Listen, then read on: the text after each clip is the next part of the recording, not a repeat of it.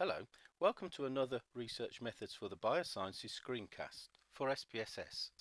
This screencast covers section 9.9 regressions, including 9.10 Model 1 Simple Linear Regression, section 9.12 Model 2 Principal Axis Regression, and section 9.13 Model 2 Ranged Principal Axis Regression. Regressions are done when you have a significant correlation between two variables and wish to derive an equation that allows you to forecast the value of one of the variables when you know the value of the other. Regressions on their own do not tell you if there is a correlation between the variables you are modelling. See section 9.5 in the book for further information. Regression analysis allows you to develop an equation in the form y equals a plus bx, where b is the slope of the line and A is the intercept.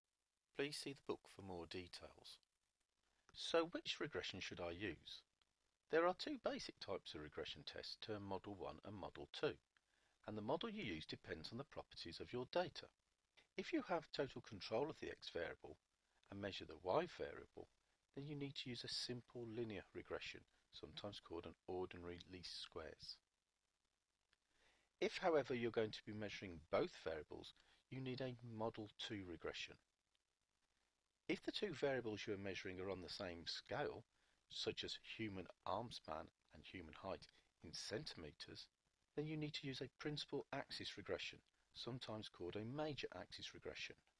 However, if the two variables are on different scales, such as measuring the girth of a tree in meters and its age in years, then you need to use a ranged principal axis regression, sometimes called a reduced major axis regression.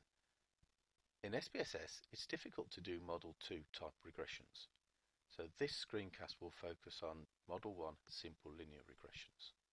If you need to do Model 2 regressions, can I suggest you check out the screencasts for regressions using the program R. This is the data from table 9.11 and I'm going to perform a simple linear regression on it.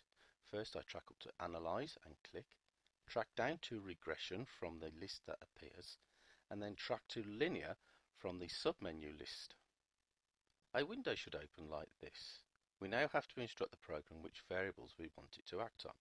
The first variable to consider is the independent variable. This is the variable we controlled, and in this case is the distance from the pylon, which is already selected. I'm now going to tell SPSS to place it in the independent box by pressing this arrow. The next variable is the dependent variable. This is the concentration of zinc that we measured. I'm going to select this and place it in the dependent box. I'm now going to press OK to run the test.